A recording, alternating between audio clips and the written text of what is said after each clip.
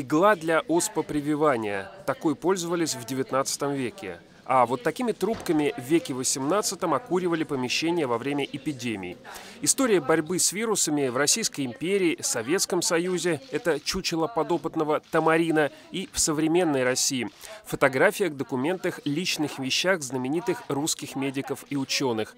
В Доме Российского исторического общества открылась выставка, посвященная истории лидерства России в области вирусологии. Председателю РИО Сергею Нарышкину продемонстрировали образцы вакцин от различных различных заболеваний и рассказали, как формировалась отечественная эпидемиологическая школа. История э, э, бактериологии, история вирусологии э, – это, с одной стороны, история блестящих наших научных достижений, а с другой стороны, это еще история подвига.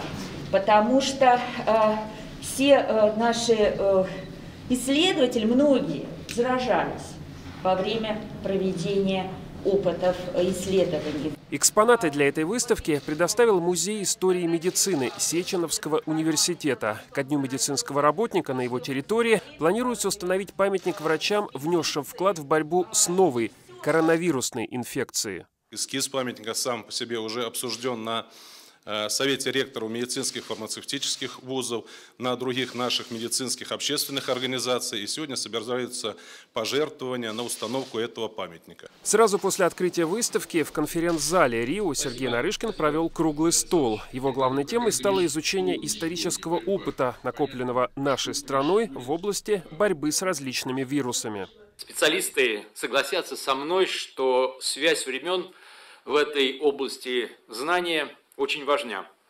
Без развития научной школы, своего рода фундамента, ни о каких прорывах в сфере практических э, знаний и практики в области создания вакцин не может идти речи.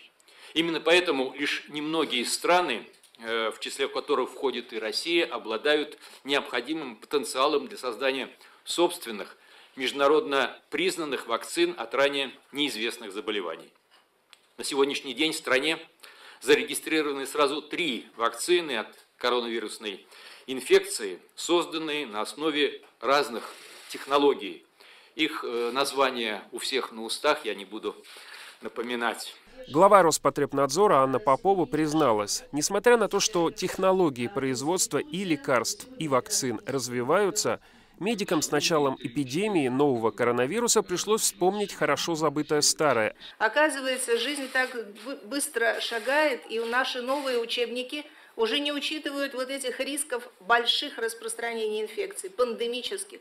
И мы вспомнили, что у нас есть прекрасный учебник Ивана Ивановича Елкина. Он стал очень востребован. Директор Центра имени Гамалеи Александр Гинзбург высказал мнение, что человечество и в будущем будет сталкиваться с вирусами и предположил, при каком условии с ними можно будет успешно бороться. Должно существовать в государстве такой план, основанный на, на универсальных технологиях современных, которые позволяют в течение недель создать все необходимое для конкретного нового возбудителя, которые постоянно будут атаковать наше общество, так как, естественно, человек все больше и больше внедряется в природные очаги, более контактирует с природными очагами, которые являются постоянным новым источником и природным котлом для формирования новых возбудителей, которые всегда нас будут атаковать, пока существует, слава богу, наша планета. Спасибо за внимание.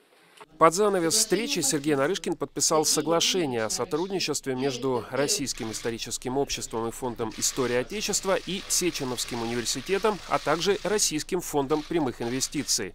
Последний занимается трансфером технологии производства вакцины «Спутник Ви» за рубеж. Сегодня таких стран уже 35. Когда э, наши иностранные партнеры сомневались в начале в вакцине «Спутник Ви», мы напоминали им, что первая российская вакцина была сделана 250 лет назад Екатерины Великой от оспы в 1768 году за 31 год до того, как была первая прививка получена в США.